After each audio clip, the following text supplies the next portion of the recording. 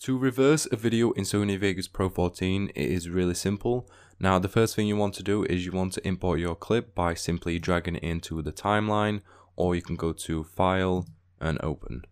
The next thing that you want to do is you want to right click on this video, go to Properties and then you want to disable resample. The reason we're doing this is because we don't need any motion blur right now and the video looks much better when we don't have it enabled. You want to press OK and you also want to go into the video properties. In here I would recommend for you to match your settings with your template. Once you're happy with that you can press OK and we're just going to quickly look through this and as you can see it is just about here where we're going to reverse it so he goes all the way back up. The first thing you want to do is you want to go to the start of where you want it to reverse. So since you're working backwards this is going to be the end of it.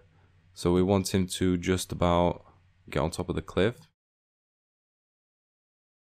We're going to use the previous frame to go back slightly.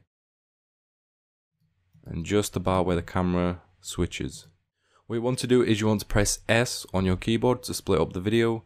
And you also want to go further down to where you want it to start. So it's going to be right about here.